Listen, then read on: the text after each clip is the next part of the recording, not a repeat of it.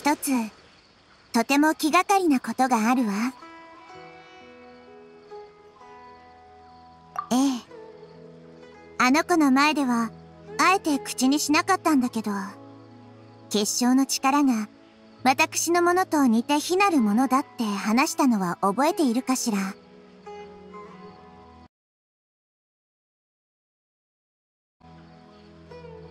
実は、結晶の元素力が、あのキノコンのものと全く同じだったのよ。なんだって？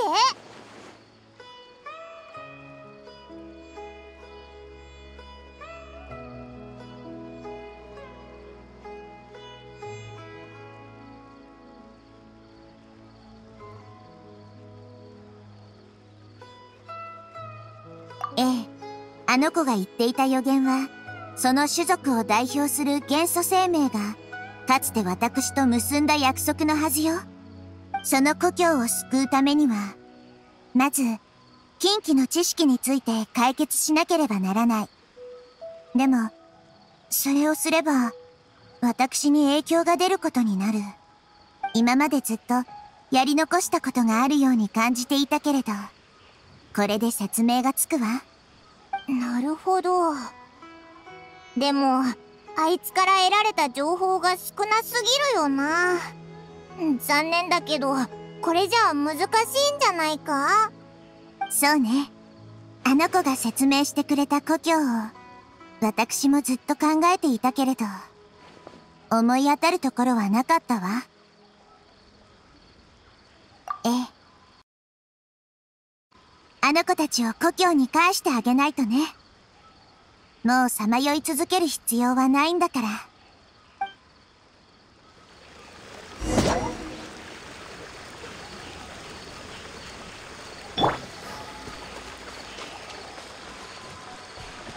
案内します。ここは少し歩きにくいので。安心しろ。おいらに歩きにくい道なんてないからな。うわ敵だお前に任せた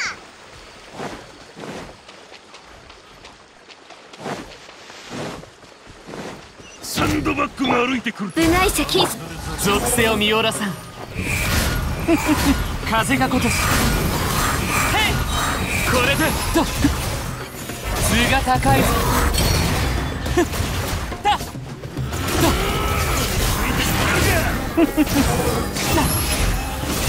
これで。あなた方はかなりのやり手のようですね。たとえ世界の滅亡の中にあったとしても、生き残る術を見つけられたでしょう。そういえばずっと聞きたかったんだけど、お前たちって元からその姿だったのか？いえ、私たち種族は環境に応じて姿が変化するんです。このスメールの土地で様々な生物と交流をした後、キノコンこそがこの土地に最も適応した生命形態であると気づきました。そのため、私たちも徐々にキノコンの姿となり、その種族に溶け込んでいったのです。そんなことができるのかよ生命にとって一番重要な本能は、適応することではありませんかこれ式のこと、何も驚くようなことではないと思いますが、あなたの手がそのような形をしているのは、道具を簡単につかみ、それを使うためです。そして、キノコンが元素力を吸収するのは、環境に溶け込み、天敵から身を守るためになります。私たちは、草元素生物であり、この大陸に生息する最も古い生命の一種。故に、適応力もいささか高いのです。つまり、オイラが望めば、オイラも姿を変えられるってことか？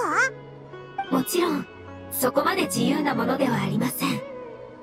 時間の助けも必要となります。こういったことは、すべて私たちにとって常識ですが、説明するとなると難しいものですね。簡単に言えば、形態を変化するには力が必要で、その力は時間に由来します。苗を一瞬で大樹まで成長させることはできませんし、木々を一瞬で実らせることもできません。なるほど。人間にも似たような言葉があるわよ。つまり、成長ってことね。おおさすがなヒーだその言葉ですぐに理解できたぜ成長。なるほど。では、これこそ成長ですね。素敵な言葉です。道中、ゆっくりとこれを噛み締めるとしましょう。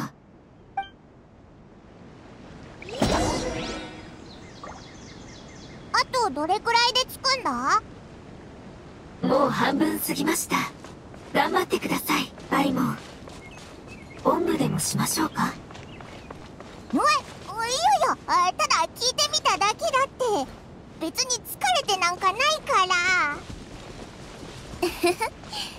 どうやら人の世話を焼くのが好きなようね。あなた。そうなのでしょうか。草の王もいかがです？おんぶしましょうか。えっとそんなことしたらお互い動きにくくなると思うわ。それより私の頭の上に乗るのはどうかしら。またその話は後にしようぜ。また魔物が現れたぞ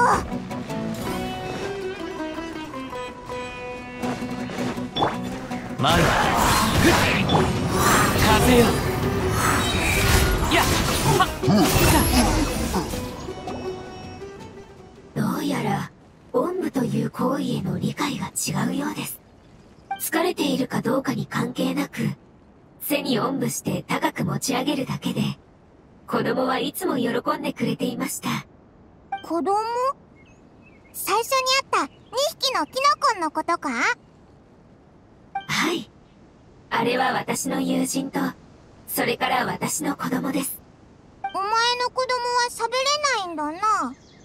あの子はただのキノコンですから。私の存在によって、キノコンの一族に変化をもたらしたり、本来の姿に影響を与えたりは、したくありません。でも、あの子にも、普通のキノコンとは違うところがあります。あの子は、人間の言葉を漠然と理解することができるんです。ですから、名前を付けてみました。の、きっと可愛い名前なんだろうな。例えば、ポコポコビーニーみたいに。パイモンは、名前の付け方が独特ですね。あれ？おいら、この名前にはすごく自信があったんだけど。不思議な響きの中に愛らしさが詰め込まれているわ。これは、パイモンにしか思いつかない名前ね。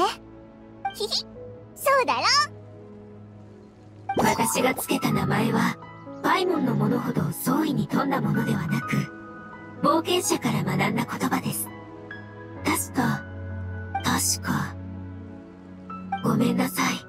これも忘れてしまいました。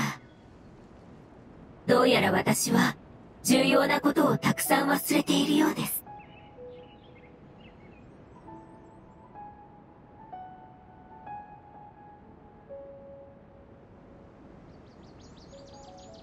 はい。帰る前に絶対思い出さないと。これは、故郷と同じくらい大事なことですから。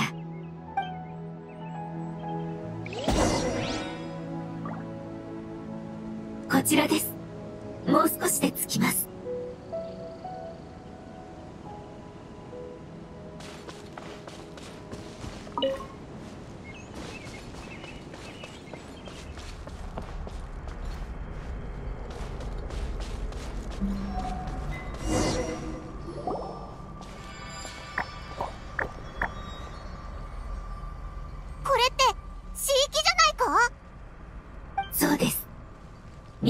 そのように呼んでいるのを聞いたことがあります。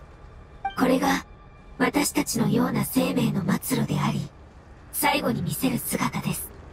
よ、よくわかんないんだけど、んどういうことだ？この子が言いたいのは、生命が散々苦しめられて最終的に死を迎えると、死域の主要になるということでしょうね。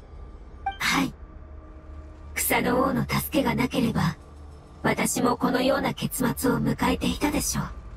死域って、そうやって生まれてたのか。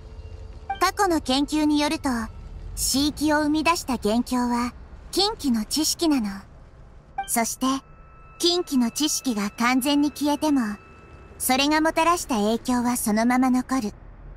死域が一緒に消えたりはしないわ。この子たちは長いこと、近畿の知識に苛まれてきた。だから最終的に、死域になってしまうのも頷けるわね。最も悲しく、そして、同情せざるを得ない最後だわ。私が故郷を離れた時、このような花が至るところに咲いていました。その花は、それぞれが一つの生命であったことを意味しています。清らかな湖の中から、肥沃な土壌から、私の家から、友人の家から芽生え、どこもかしこも埋め尽くされて、世界は一瞬にして色を失い、混沌へと落ちました。でも、問題ありません。私たちの生命の本質、元素力は、まだこの花の中にあります。冒険者が死域を処理した後、私はこっそりと近づくんです。もし仲間の元素力を感じたら、それを連れ出すために。でもそれだと、近畿の知識の影響が。いえ、大丈夫です。今はもうそれは重要ではありません。彼らが皆、最後に故郷へと帰れればいいのです。ずっとあのような姿でここに残り、後も残らずに消えてしまうなんて、あまりにかわいそうでしょう。こうして帰郷の機会ができた以上、少しでも多くの同胞を連れて行ければ、私も嬉しいですから。わかったわ。私たちに任せてちょうだい。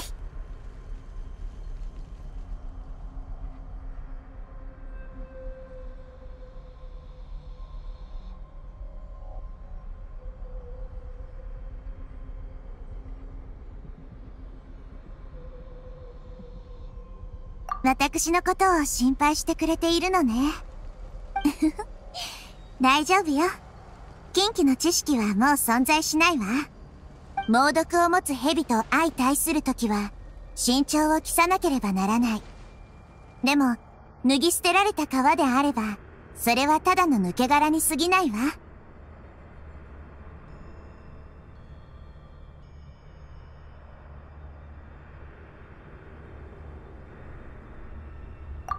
に言ってるかよくわかんないけど、とにかく意見が一致したってことだよな。よし、早速片付けようぜ。オイラたち、地域の処理に関しちゃ経験豊富だからな。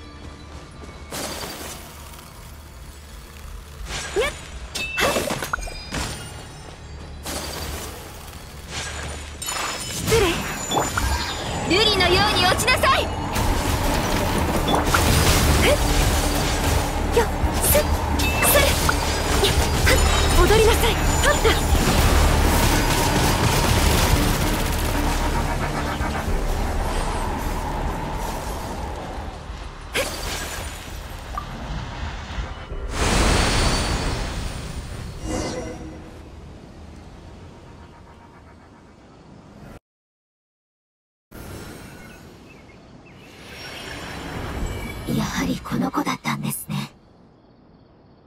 私の知る最後の同族まで、あと少しだったのに。あと少し、この子も耐えていれば。あなたが故郷に帰った後、このような苦しみを二度と味わわないことを祈っているわ。大勢の元素生命が、地域の主要になったことを考えると、おいら、すごく悲しくなってきたぞ。大丈夫です。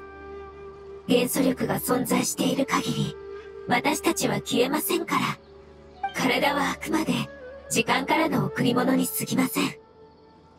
成長によって変化は訪れ、時には、体そのものを捨てることだってあります。でも、その本質は簡単には変わりません。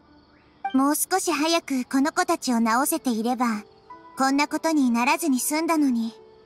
ウリンとこの地に息づくあまたの生命のためにも、この子たちを全員見つけ出して治してみせるわ。草の王、感謝いたします。信じることを選び、そして待っていたことは、私たちの選択で、最も賢明な判断だったようです。あら？待って。情報が届いたみたい。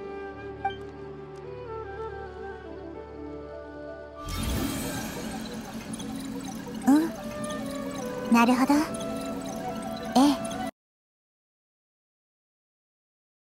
え。いいわ。わかった。ありがとう。一致するキノコンが一体見つかったわ。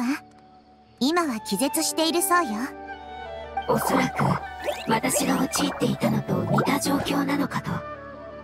早速行ってみましょう。ええ、そうね。私が案内するわ。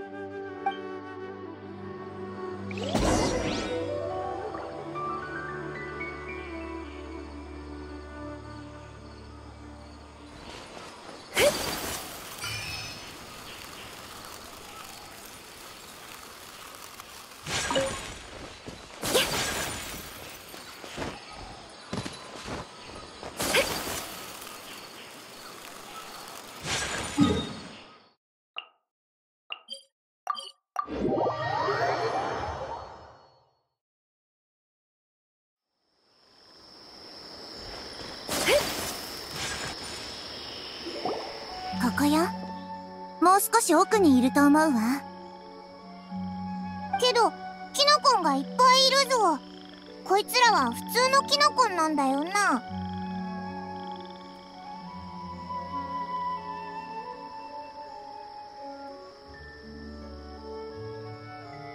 そうだな。警戒心もかなり強そうだし。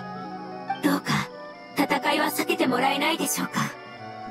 ここにいるのは全て、私の同族の家族です。種族は違えど、長い間、キノコンと一緒に生活してきた私たちは、この子たちのことを、とても大事にしています。ちゃんと話せば、分かってくれるはずです。じゃあ、どうすればいいんだ？このままだと、お前しか奥に進めないぞ。お前の同族のキノコンを救うには、ナヒーダの力が必要だろ一つ方法を思いついたわ。キノコンの姿になる方法を、私にも教えてくれないかしら。あなた様もキノコンの姿に。ですが、私たちの成長には時間が必要で。でも、ナヒーダって神だし、キノコンに変身するくらい楽勝なんじゃないか？いいえ、神といえども、時間を無視するのはそう簡単なことではありません。なら、見つかるリスクを冒して潜入するしかないわね。そうなると、戦闘を避けられるとは言い切れないわ。でも、もし私が力を使うことで、あなたとその家族を助けられるのなら、試す価値はあると思う。わかりました。草の王の元素力は強大なものです。もしかしたら、あなた様ならできるかもしれません。時間の制限を超えるには、相応の代価を支払う必要があります。これに関する知識を、あなた様にお貸ししましょう。変化の過程が、少し楽になるはずです。ええ、私の準備はいいわ。キノコになるなんて、きっと斬新な体験でしょうね。草の王、これは遊びではありません。私は真面目に話しているのです。あら？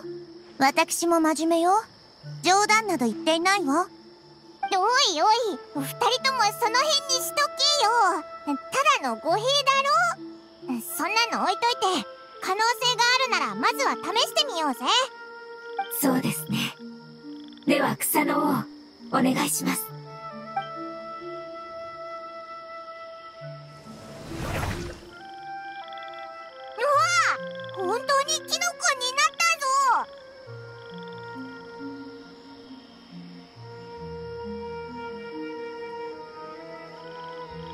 悪くない感じだわ。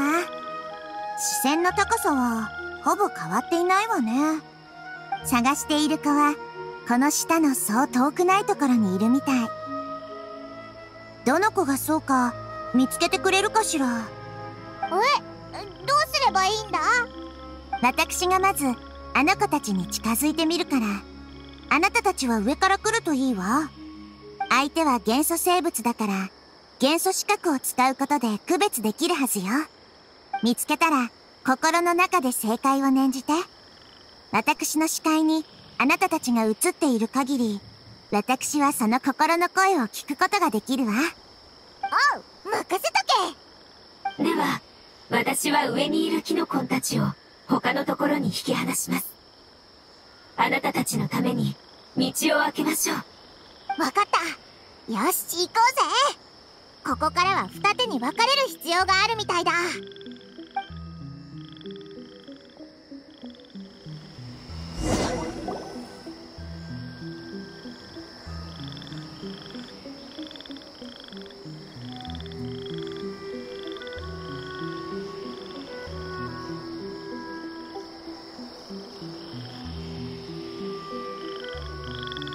見回りをしているキノコンは警戒心がかなり強いみたい。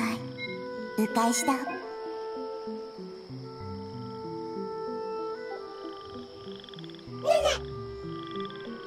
この子どうしてこんなに大きな反応を？いけない。見回りをしているキノコに気づかれてしまったわ。なな？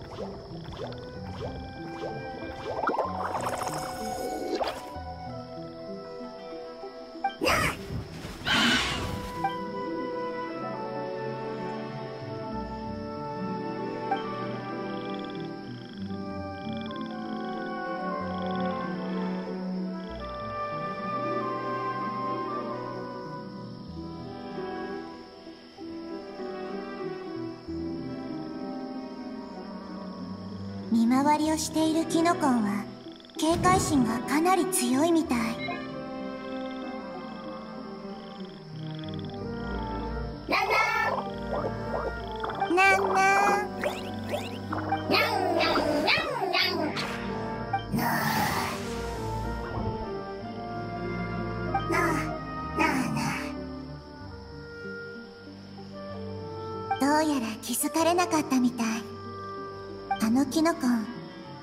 く動きそうにないわ。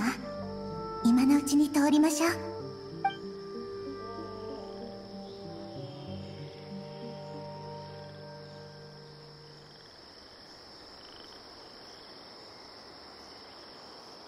ここだわ。キノコンが何匹もいる。まずは隠れて旅人が来るのを待ちましょう。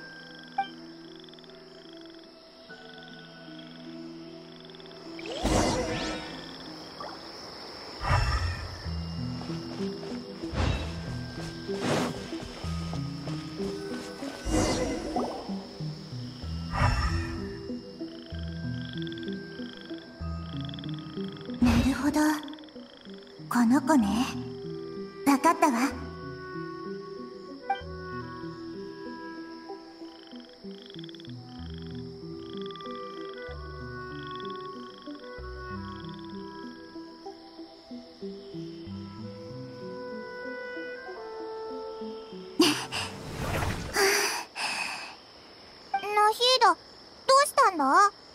自分の姿を変えるのがれほど消耗の激しいことだとは思わなかったわ。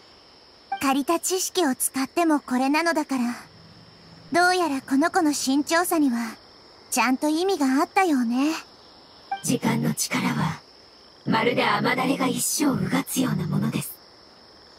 普段は気にしませんが、一瞬で変化を求めようとすれば、極めて大きな代価を支払うことになります。そのような代価を支払っていただいたこと、心より感謝します。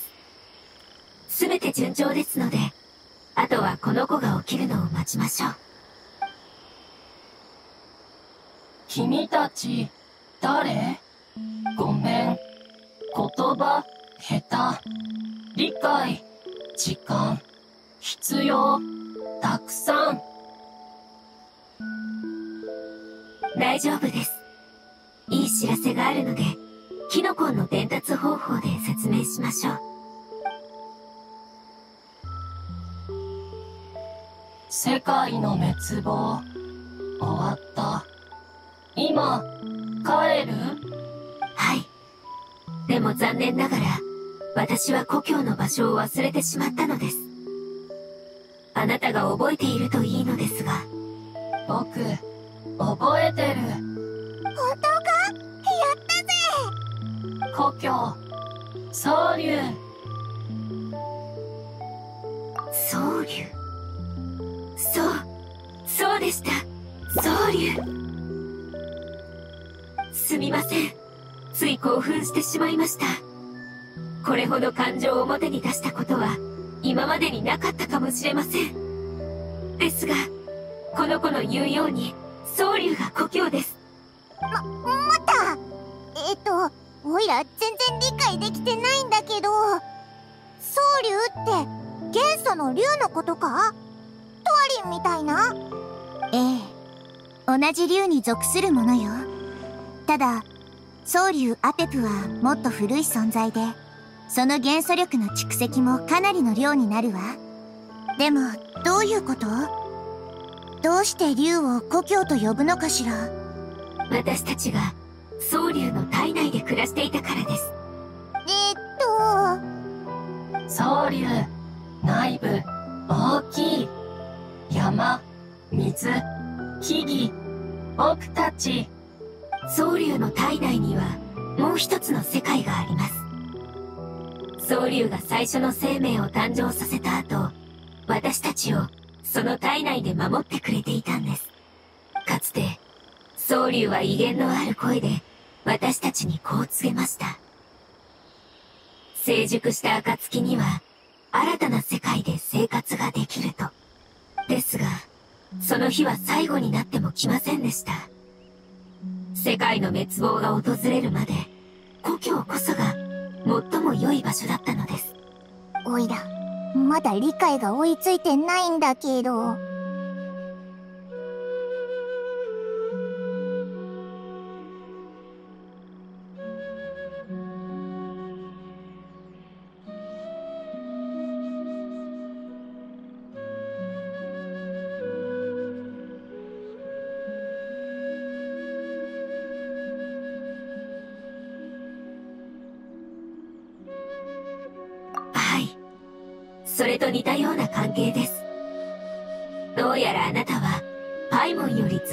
ずっと賢いようですね。ただ、ソウリュウは草スライムよりも何倍も大きい体を持っています。待って。そうなると、まるでアペプも近畿の知識によって汚染されているかのように聞こえるけど。ええ、その通りです。いきなり思い詰めた顔をされて、どうかしましたか？あなた様が、そのような表情を見せるのは初めてですが。アペプはこの世界で、最も適応力を持った生物よ。近畿の知識もとっくにその体の一部になっていたはず。つまり、近畿の知識をすべて消したことで、そいつにも巨大な穴ができたおそらくそうなるわね。その体や魂は、もう目も当てられないような惨状になっているでしょう。通りで長いことアペプを見なかったわけだわ。一体どうやって汚染されたのかしら？キング・デシェレト文明が滅亡したせい？それ以来ずっと身を隠しながら苦痛に耐えてきたんでしょうね。今もひどく苦しんでいるはずだわ。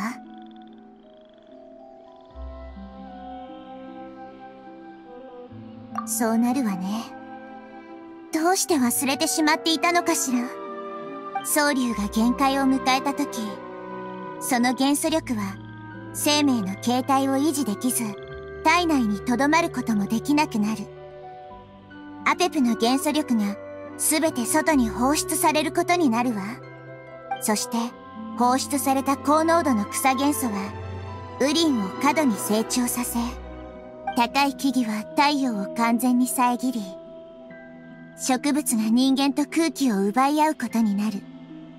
スメール全土が生命の住処として適さなくなるわ。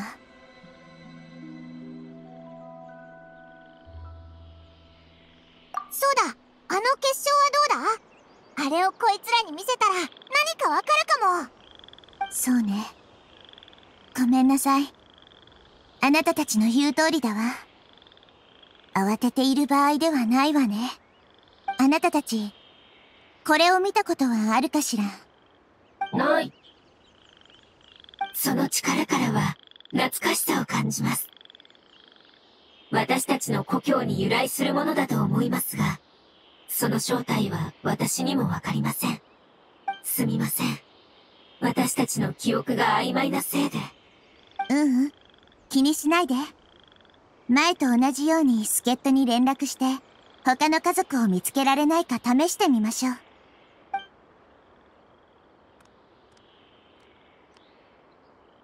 お願い。あなたたちの情報はとても重要なの。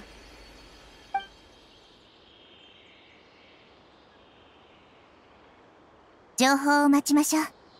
耐え難い時間かもしれないけど。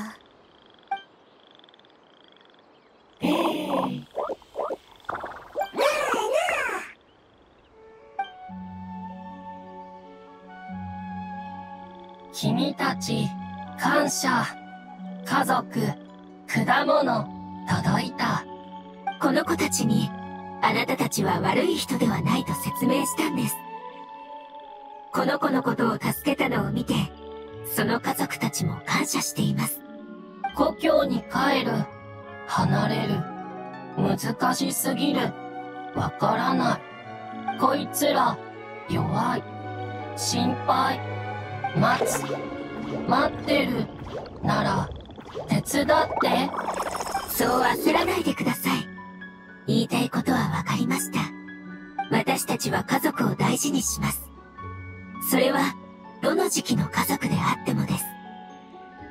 この場所を守るために、この子はいろんなことをしてきたそうですが、いざ離れるとなると、心配で仕方がないようです。現状、待つことしかできないのなら、最後にこの子の手伝いをしていただけないでしょうか？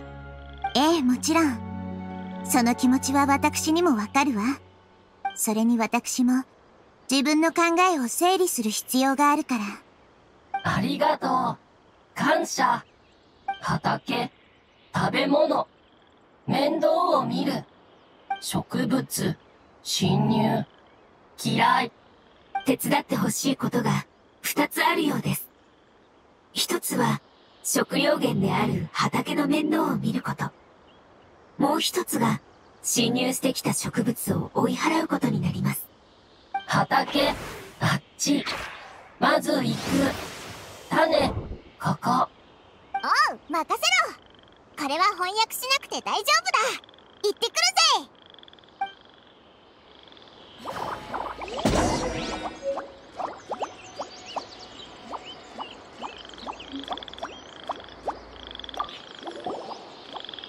ていただき、ありがとうございます。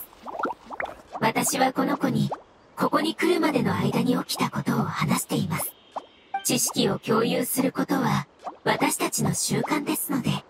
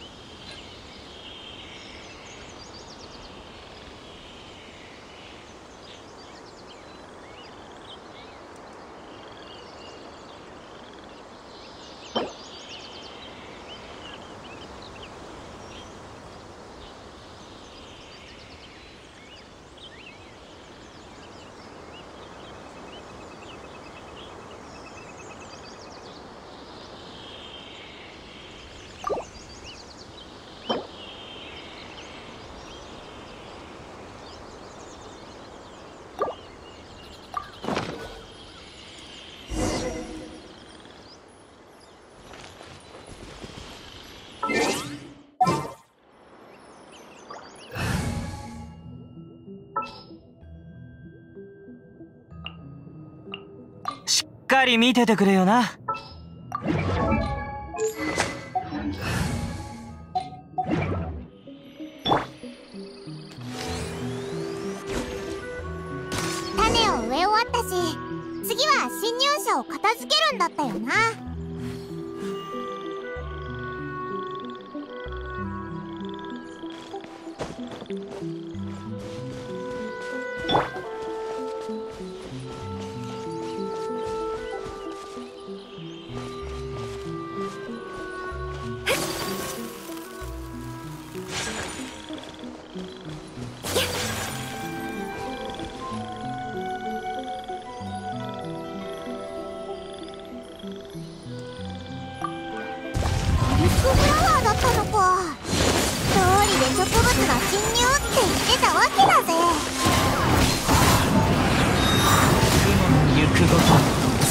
属性を見下ろさん。これで解決っと。楽勝だったな。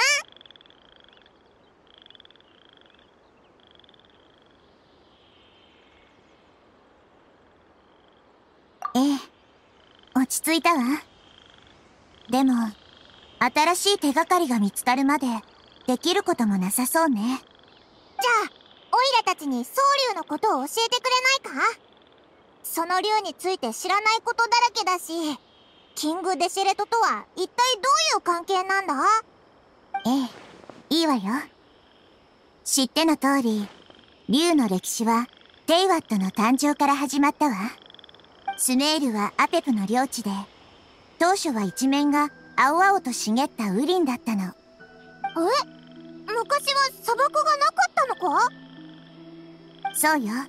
巨大な釘が天から降ってきてウリンを完全な砂漠に変えるまではね。アペプもエメラルドグリーンの巨竜から砂色に姿を変えたわ。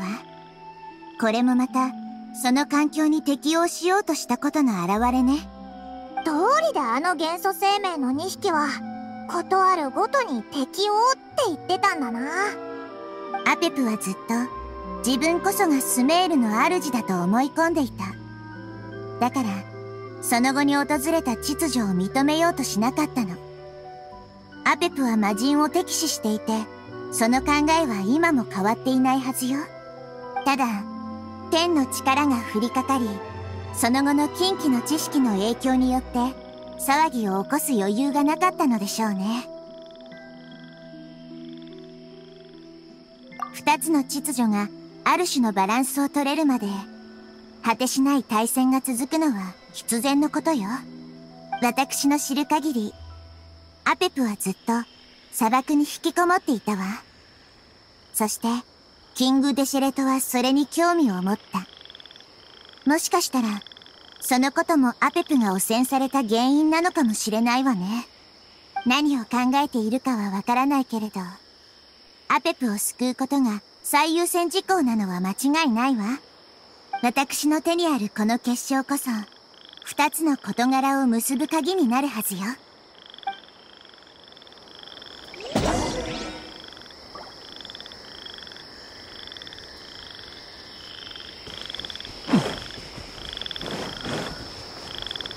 ついてこいなんて言ってないよ遅い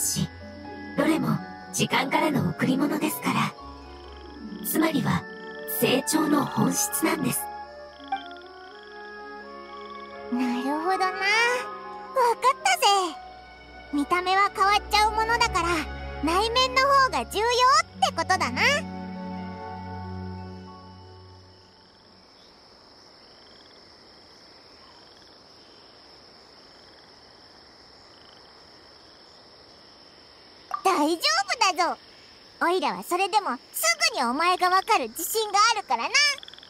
そうなのね。分かったわ。いいえ。いいの。ありがとう。森にはこれ以上情報がないわ。しばらくはあなたたちの家族を探せなさそうね。手がかりはここで途絶えてるみたい。もし誰もこの結晶の使い道を知らなかったらアペプは危ないわ。ごめん。大丈夫。あなたのせいじゃないわ。二人ともが結晶のことを忘れてしまってるのは偶然じゃないかもしれない。結晶は近畿の知識と深く関わってるんだもの。記憶が影響された可能性もあるわ。もしそうなら、他のキノコンを見つけたとしても意味がない。結晶と世界の滅亡。世界の滅亡と記憶。草の王、今唐突に思い出しました。予言のことは、まだ覚えていらっしゃいますか？ええ、なんとなく。それがどうしたの？予言とは、過去と未来を結びつけた物語。世界の滅亡も、私たちの一部だから、保存しておく価値があると、私の家族が言っていました。当時、我々一族は、その子の観点を認めなかったので、あの子は去っていきましたが。保存？まだ消されてないやつがあるってことか？その可能性は低いわ。世界樹の力は、隅々にまで行き届いているもの。予言では、どこへ行ったか言及していたかしら。スメールの東、底知れぬ地下、帰らぬ混沌の地。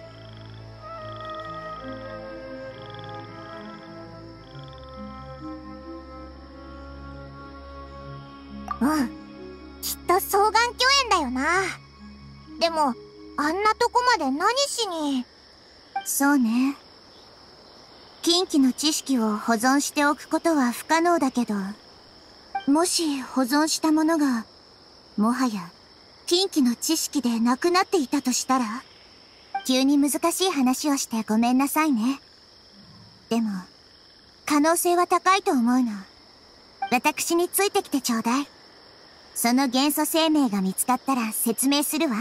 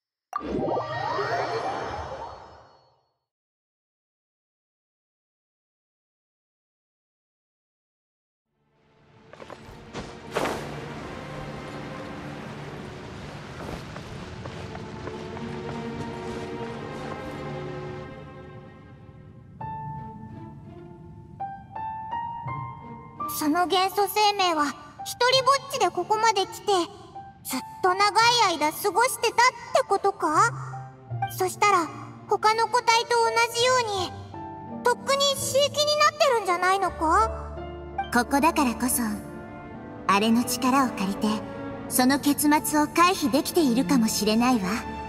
あれはアビスに対抗する道具ではるか昔テイワットの亀裂を修復したの。テイワットに属さぬ力を浄化して安定させる力を持っているのよ。その光に照らされた近畿の知識は別の形となってここで永久に保存される。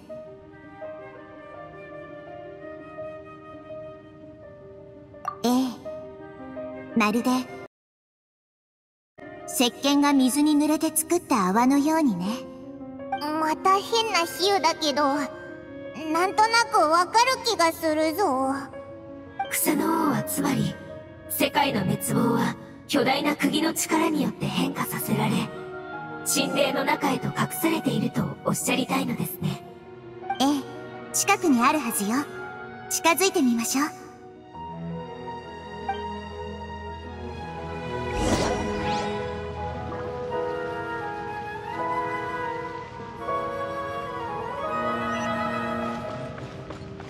風よ天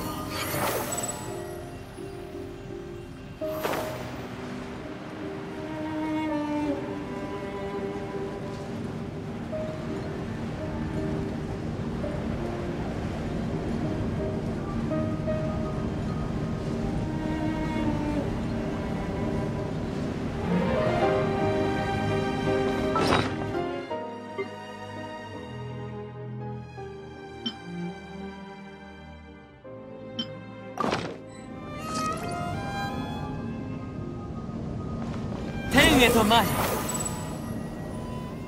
見ろあっちだ。どうやら周りの沈霊を取り除かないといけないみたいね。あなたたちならできるでしょ？有名石で神霊の湧き出し口を減らしてやればいいんだな。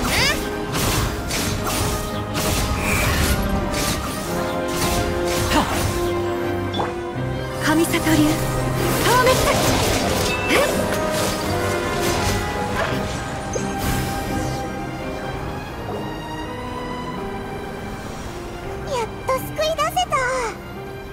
の子が予言に出てきた子のはずです。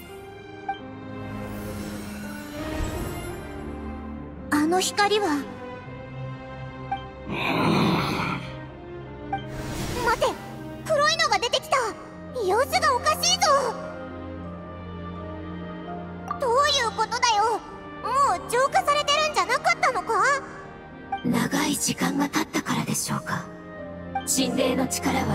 世界の滅亡よりも安定していますがそれでも友好的な力ではありません。長くそれに使っていたわけですからまだ意識があるとは限らないでしょう。そんなこっちはまだ聞きたいことがいっぱいあるんだぞ。私の元素力を使えば追い払えるはずよ。でもこの方法だけが正気なのよ。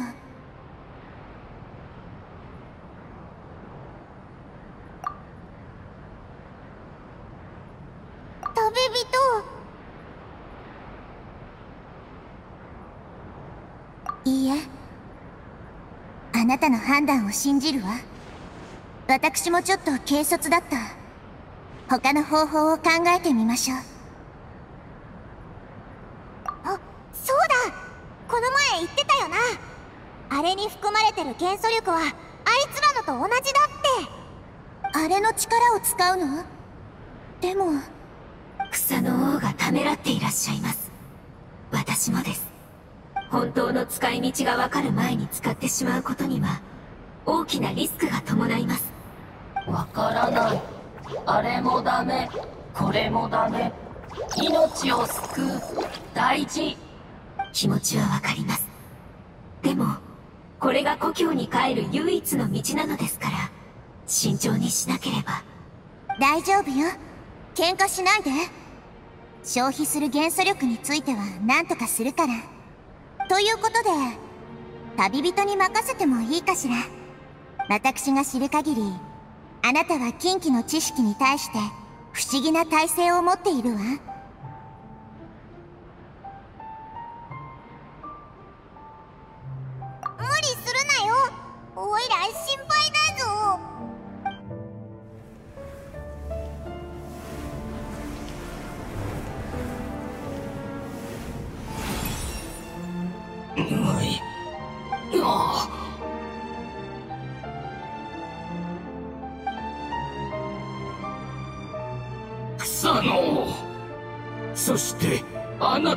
たたちは。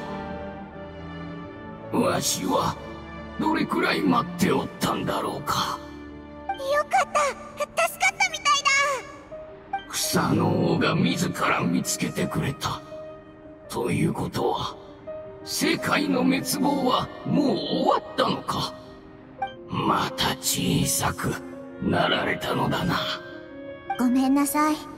そのあたりの記憶は頼りなくて、あなたのことはもう覚えていないの。うんそうだな。その頼りなき部分のためにわしは存在するのだ。世界の滅亡は徹底的に排除されそれに関連する記憶は不安定な状態となる。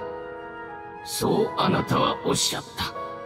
その後も我々一族との約束を覚えていられるかどうかはあなたにも保証できないとだが、あなたは決して約束を違えないお方だ。あなたのお覚悟に比べれば、わしの犠牲なぞ取るに足らん。これが、あなたとの約束だったの？そうだ。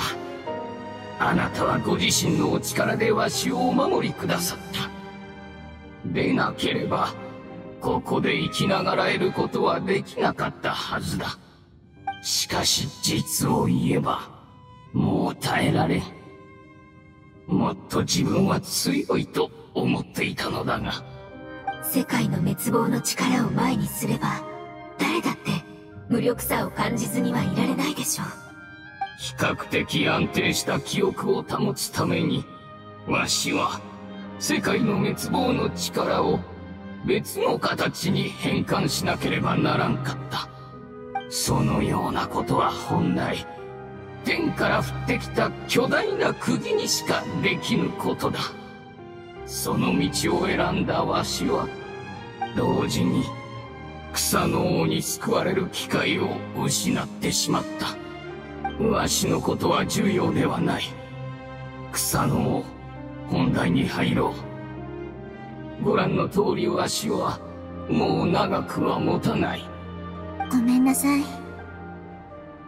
わかったわ。ありがとう。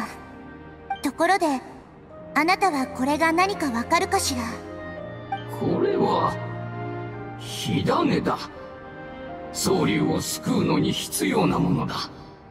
状態も悪くなさそうで、本当に良かった。これは当初、草の王と我々一族が一緒に作ったもので、総流のオアシスの心の作動方法を模倣している。総流は世界の滅亡によって長い間苦しめられてきた。その力はあまり残っていない。だが火種を使い、そのオアシスの心を再び活性化させれば、自己回復できるはずだ。そして、我々の故郷も元通りになる。オアシスの心は、アペプの力の源なのでしょうね。なるほど。道理でこの結晶で直せたわけだ。これがこいつの使い道なんだな。何？わしを救うために、火種を使ったのかそうだぞ。それがどうかしたか？それは、いや、あなたたちの責任ではない。あなたたちは、事情を知らなかったのだからな。火種とは、濃度の極めて高い元素力を小さな塊に凝縮させたものだ。それは強く、脆い。存在形態が不安定なものだから、不慮の事故を避けるためにも、もう二度と使わないでくれ。私が作ったからには、責任もちゃんと負うわ。心配しないでちょうだい。うん。火種は、総流を癒す以外にも、オアシスの心と共鳴することもできる。つまり、あなたたちは、火種の導きを頼りに、総流のありかを見つけられるはずだ。さあ、行きなさい。ことは一刻を争う。君は？わしのことはいいから、早く故郷に帰りなさい。みんな一緒に帰りましょう。あなただって例外じゃありませんよ。さっきも言ったはずだ。草の王に救われる機会は、とっくに失った。草の王。会いに来てくれてありがとう。総流を救うと言ってくれて、ありがとう。おかげで我々一族の過去は守られ、我々一族の未来も続いていく。この子たちが帰れるだけで、わしは満足だ。えちょっと待てよあいつ、神霊になったのか。もう一度、有名石を使っていただけませんか？あの子の元素力を感じるのです。お願いします。一番帰郷するべきなのはあの子です。それがあの子の、叱るべき結末です。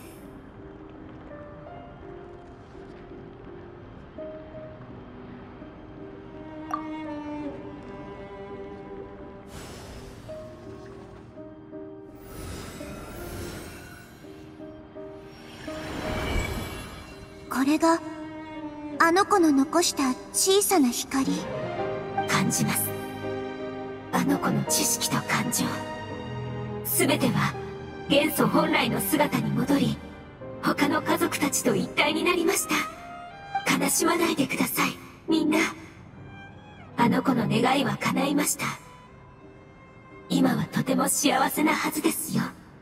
見た目は重要じゃない。そうよね。ええ。見た目は重要じゃありません。故郷が救われ、家族が再会する。それが何よりも重要です。帰ろう。故郷に。故郷に。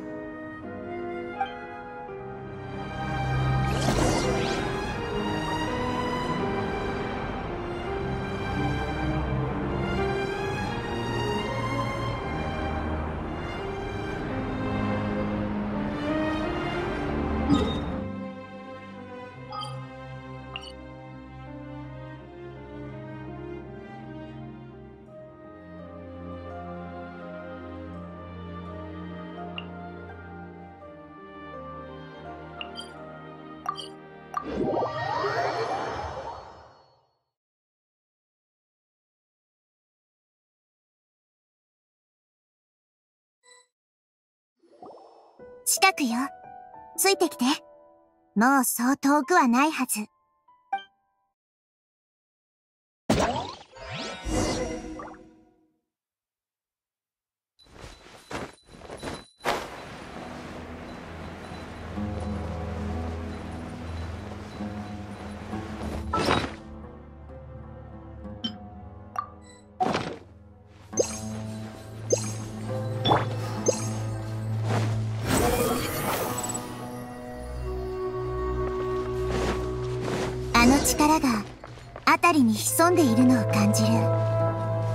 時には近く時には遠く。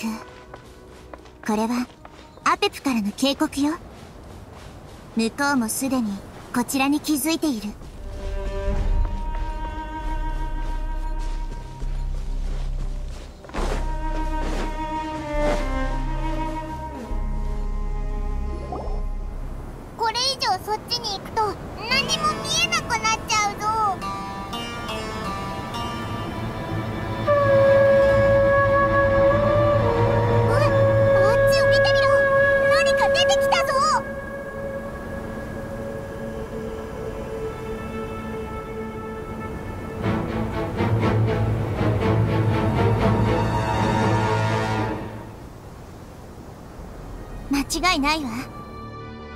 あれが総龍のアペプよ。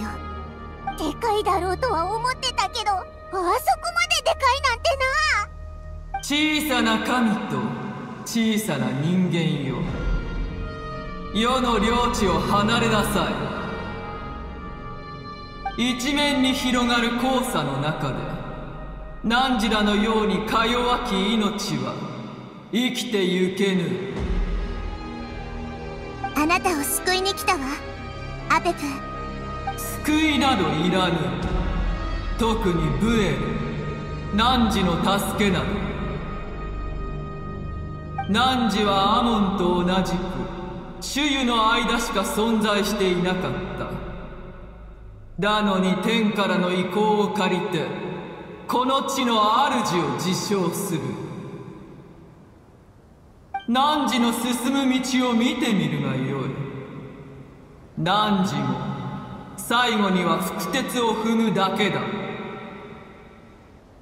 神と人間を憎んでいるのは分かっているけれど今のあなたは弱っているわ。恨みを今だけ忘れることはできないの。今だけ忘れる。愚かなブエル世を癒したとしても感謝はせんぞ汝はスメールと七国を滅ぼす巨竜をよみがえらせようとしておるのだ。あなたは病にかかっているだけよ。さよう。時間は不治の病であり全てのものを死なせる。ただし世の病は重篤だが頭は冴えておる汝らに妥協した古代の竜とは違うぞ。そこまでかたくなにならなくても私たちに必要なのは対立ではなく真実よ。真実か。これぞ知恵の神の逃れられぬ檻。世はすでに真実のために悲惨な代償を支払った。汝も遅かれ早かれ同じことになる。おい行く気をつけて。何か出てきたわ。なよおなんだこれ。初めて見るぞ。家族です。え？こいつらも家族なのか？キノコンの姿じゃなかったのかよ。見た目重要。違う。本質。同じ。この子たちを構成する元素力は私たちのものと同じです。つまりこの子たちは故郷の住民だということです。これはこの子たちが世界の滅亡を経験した後の姿なの？とても悲惨ですがこれも一種の適用です。家族の多くは逃げられませんでした。そして世界の滅亡を生き抜くために形態を変えこの子たちは今の姿になりました。本当に？戦わないといけないの？おいお前ら話せるか助けに来たぞ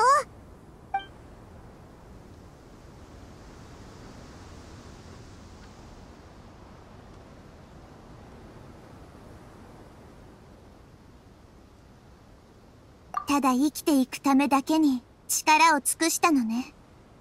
火種に引き寄せられたんです。この力だけが苦しみをしばし消してくれます。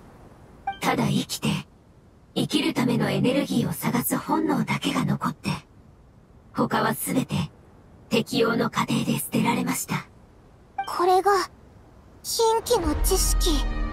もし近畿の知識が、テイワットで暴走したら、私たちの世界も、こんな風になってしまうのね。陸に打ち上げられた魚たちは、世界中を探し回っても、一滴の水も見つけられない。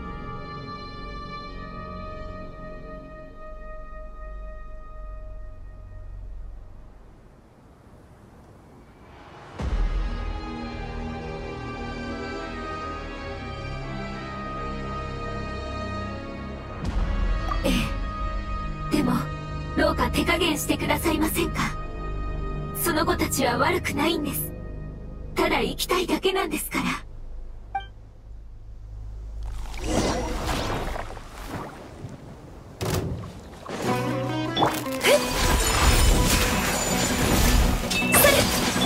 もみちが散らまく惜しみ。風よ。はっ。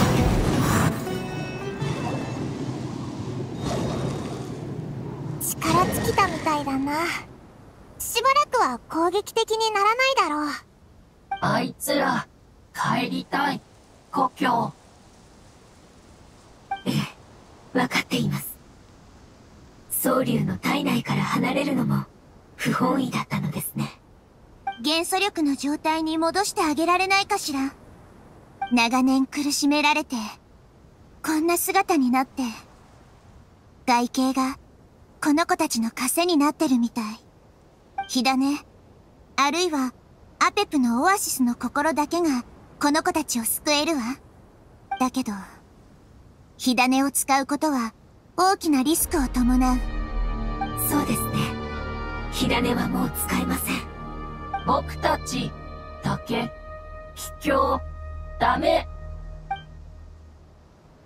なかなか難しい問題だぞ。ちょっと考えさせて。いいわ。やっぱり、火種の力を使いましょう。この子たちを砂漠に残すなんて、かわいそうだもの。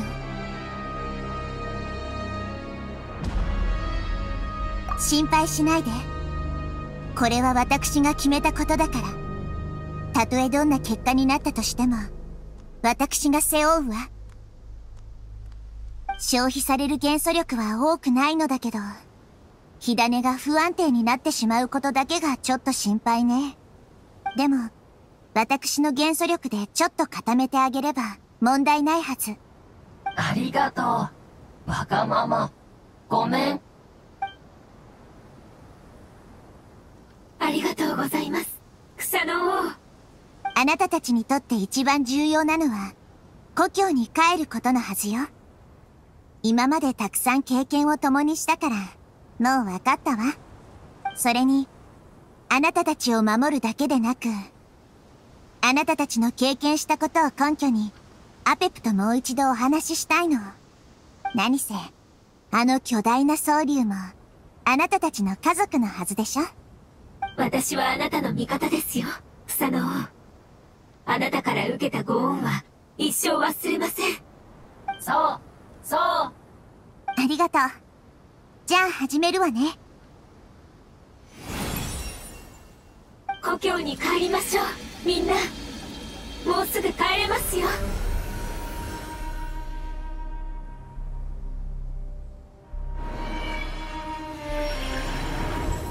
うわ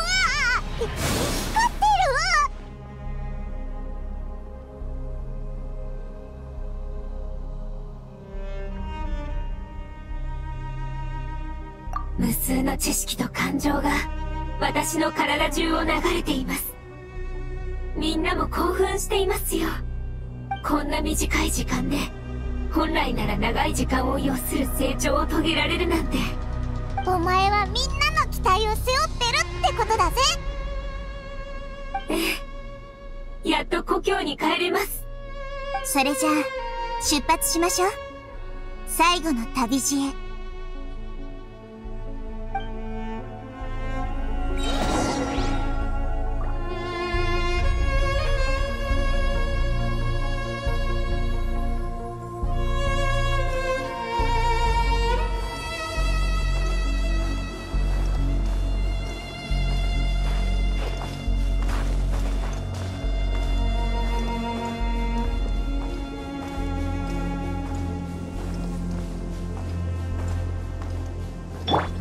属性を見下ろさん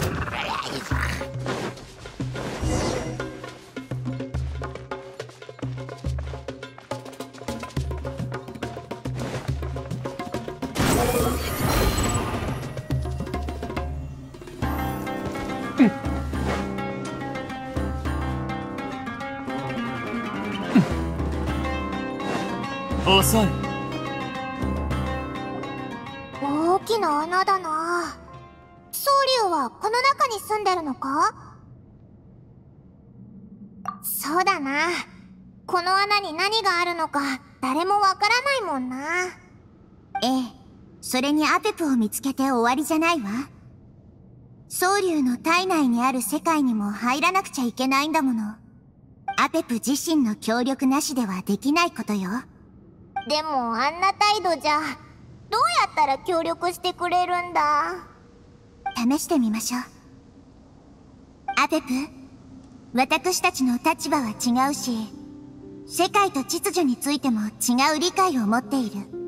けれど、私もあなたも元素力から生まれ、近畿の知識に深く毒されていたわ。私たちの本質は同じで、同じ敵と対抗しなければならない。だから、偏見から交流を拒むのは良くないことだわ。宗竜は本当に聞き入れてくれるのか？あなたが何を考え、誰を恨み、その恨みから何をしたか。私は気にしていない。まして、感謝してほしいとも思わないわ。救うために来たの。あなただけじゃないわ。あなたの民も、私の民もよ。あの子たちは故郷を離れてから、ずっとあなたを救う方法を探し続けてきた。あの子たちは、故郷に帰りたがっているの。すべてが終わった今、すべての恨みは状況を改善するのに何の役にも立たない。対立よりも、あなたが育んだ命と向き合うことを選ぶべきだわ。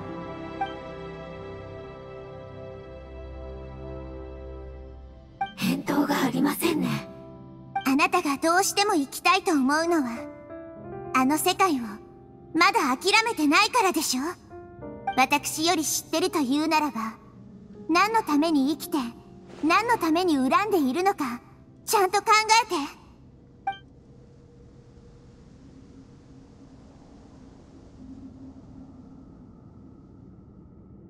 うわ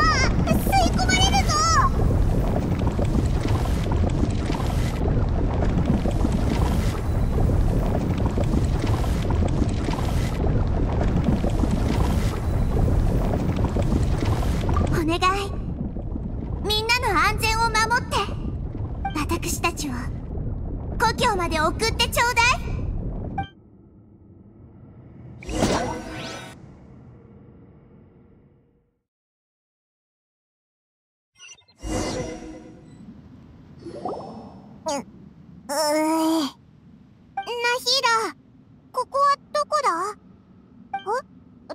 旅人は？あいつはなんでいないんだ？無事にここに来ていることだけは保証できるわ。ただ、入るところがちょっと違ったかも。じ、じゃあ、この先を探してみようぜ。おいら、すごく心配だぞ。ええ。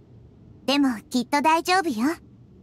彼女の腕を信じていいと思うわ。それは分かってるけど、なんだか落ち着かないんだ。な、早く行こうぜ。あいつがこの先にいるかもしれない。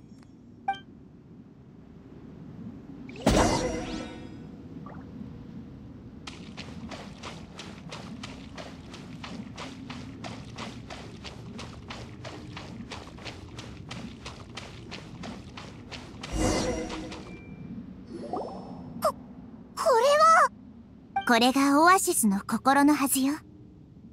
火種を使って灯せば、アペプの元素力を補充できるわ。そうすれば、体内の破損した部分も少しずつ回復し、健康になっていく。じ、じゃあ、早く灯してから旅人を探そうぜええ、わかっているわ。ちょっと待って。えなんでだよ火種が。砕けた。こんなに不安定なものだったなんて。なんでだよ？そこまで使ってないだろ？私にもわからないわ。もしかすると、火種が守れるのは、一人だけなのかしら。でもあの状況で、もし全員に力を使わなかったら、みんなどこに飛ばされていたかわからないわ。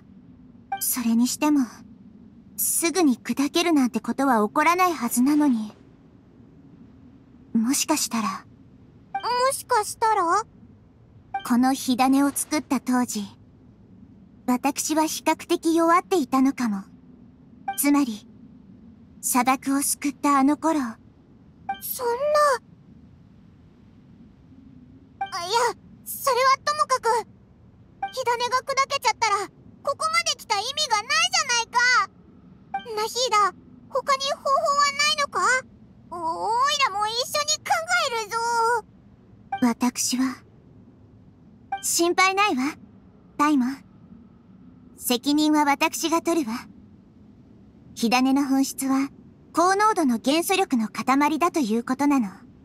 元素生命と私の元素力には、微細な違いがあるけれど、キノコンに変身した時に触れられたわ。あの力を模倣して自分の力を加えれば、火種と同じ役目を果たせるはずよ。火種になるってこと？ええ。とても力を使うことだけど、砂漠の時ほどじゃないはず。でも、また小さくなるかもしれないわね。え？もっと小さくなるって、どうなっちゃうんだ？草か枝になるわ。つまり、生まれたばかりの姿に、成長する過程を逆転させれば、私は限界を超える力を発動できる。でもたくさん失っちゃうんだろ見た目だけじゃない。感情とか記憶とかだって。大丈夫。命が危ないアペプに比べれば、そんなのどうってことないわ。絶対きっと他の方法があるはずだ。それにお前がそんなことになったらスメールのことはどうするんだよ。ことが終わったらパイモンと旅人は私をスメールの土に植えてちょうだい。そんな姿になってもちゃんと森を通じて世界と交流できるわ。ただあなたたちにはしばらく見えなくなるだけ。そんなもし旅人がいたらあいつだって絶対止めてたぞ。いや責任を負う方法がこんなことだって知ってたらオイラたちは最初から絶対認めなかった。ごめんねパイモン。私たちの選択肢はあまりないのよ。翼が折れて落ちた鷹はみんながみんな再び空を飛べるわけじゃない。だけど、リスクを冒さなくては、空には永遠に届かないわ。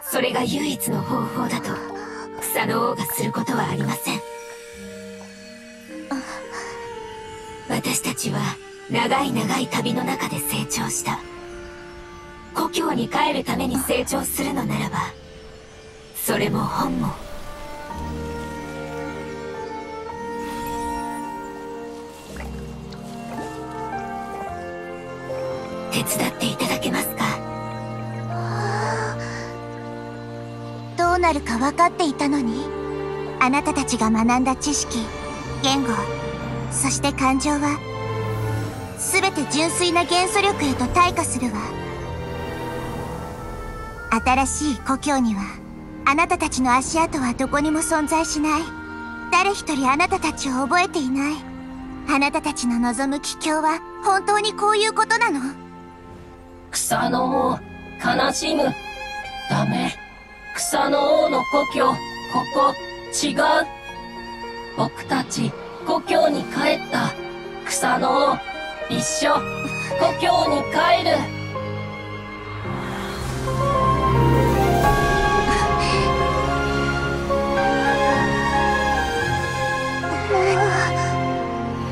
お願い。みんなの願いを感じて。目を覚まして。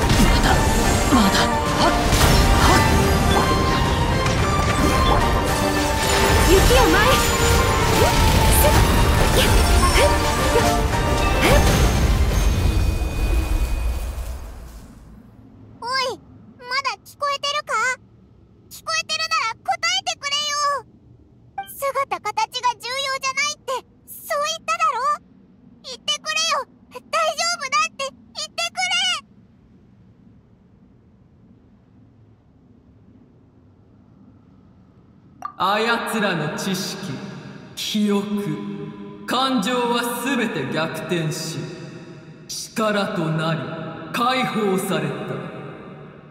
もちろんもう答えることはない。数えきれないほど長い時間を共に過ごしてきた守護者は今やあやつらと同じでただ世の元素力となった。あやつらは融合し一体となってまた再び生まれ変わる機会がある。悲しむ必要などどこにあるというのだ。違うぞ。同じなわけないだろ。うダイモン私たちとアペプが理解し合えることはないわ。でもアペプあなたが回復してくれさえすれば他のことについては深追いするつもりもない。この状態を維持していればスメールの安全が脅かされることはないもの。力が戻れば怒りも増すかと思ったが今感じるのはとっくに忘れ去ったはずの穏やかさのみだ。近畿の知識は知らずのうちにあなたを変えてその怒りと恨みを増幅させたのよ。返す言葉もない。世界の外から来たあやつをこれ以上ないほどに恨んでいるが汝と汝の民を滅ぼしても意味がない。だがそれでも世は立場を変えたり汝と関わったりするつもりはない。汝もまた無限に膨らむ好奇心によって命を落とせばその時は心底から軽蔑し嘲笑ってやろう。本当に口の悪いやつだな。あなたの選択を尊重するわ。そして二の舞は演じないと私たちが証明してみせる。ねえ。あなたが休養に入る前に最後に確かめておきたいことがあるの。どうやって近畿の知識と関わったの？話せば長くなるがはるか昔我らはあれこそが天理に勝てる唯一の力だと思った。竜王が世界の外から手に入れた漆黒の力は我らを導き外来者が定義した秩序に抗う手段になると。竜王空前絶後の戦いがテイワットで繰り広げられた。その悲惨さといったら危うく世界全体を崩壊させるところだ勝者は世界を形作る権利があるが敗者は敗となるのみ。だが竜王が逝去された後も世は局面を逆転させる方法を探すことを諦めなかった。粉々になろうとする世界の境界線でより多くの近畿の知識を得ようとしたがそれもまた天から落とされた巨大な釘によって差し止められた。スメールの天地異変は竜の時代はすでに終わったと告げているようだった。でもあなたは諦めなかった。そうでしょアモンつまりアフマルのことがあったから。そうだ。その後アフマルはナブマリカッタの助けのもとその力を手に入れた。奴は野心を膨らませ我が領土で強く栄えた国を作ろうとしておった。軽蔑はしたが世はそやつの行動を黙認した。その代わり奴の死後その全ての知識は世のものとなると。それでも心の底に心残りがある。当初竜王が帰ってきた頃世界はすでに変わり果てていた。一部の竜は汝らと近づきすぎて世界を奪われた恨みをも忘れてしまった。一部は戦死し骨しか残らなかった。一部は傷を負い逃げることを選んだ。竜王の鱗と意志とは世にとって未だに心の中で不滅の光を放つものだ。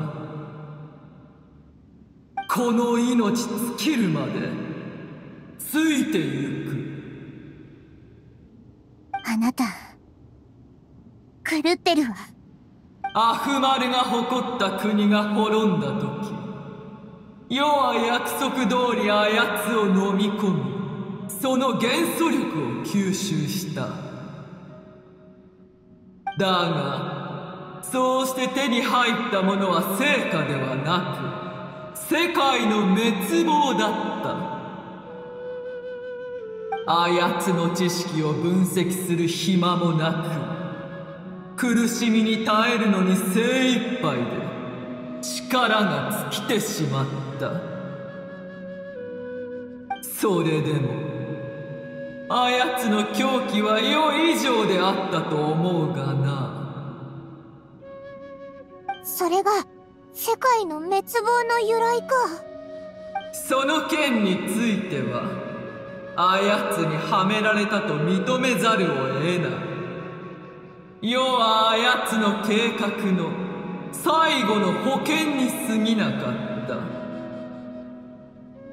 小さな武衛そして汝ら引き続き進むがいい。世はずっと見ておるぞ。天理の大切にしておる命が一体どこまでできるのかを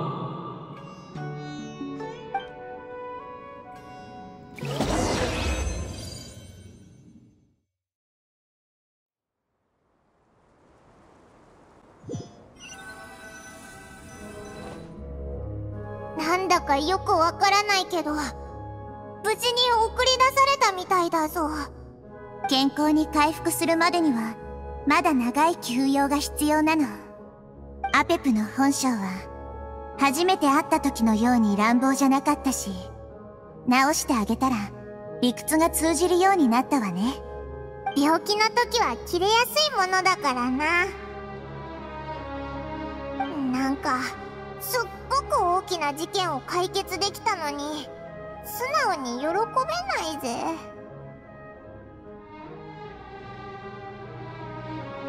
そうね。再び生まれ変わる機会があったとしても旅の記憶も故郷への感情ももう二度と戻らないわ。一つ一つの成長は唯一無二なんだもの。このかけがえのない感情の積み重ねこそ大きな力に逆転できるものなんでしょうね。はあ。家族のいないところなんか故郷って呼べるのかよ。家族。そうね。あの子は家族を残していったわ。あの2匹のキノコンはまだ帰りを待ってるかもしれない。そうだな戻ってみようぜ。こんな複雑な事情どう伝えればいいかわからないけど。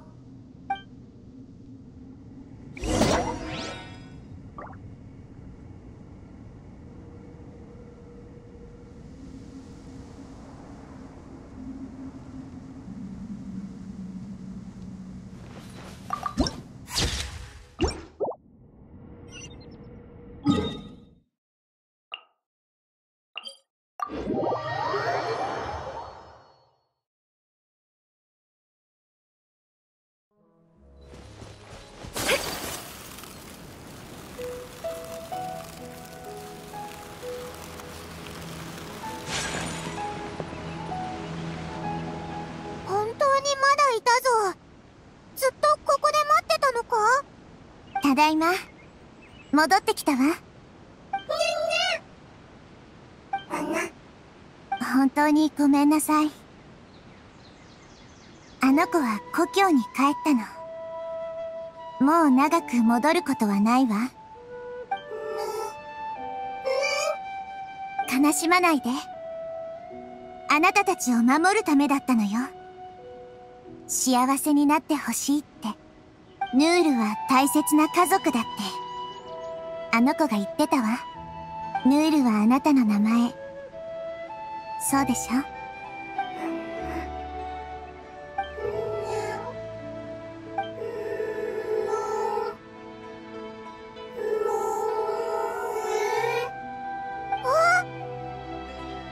よかった。少なくとも足跡を残せたわね。この子たちはまた巡り会える。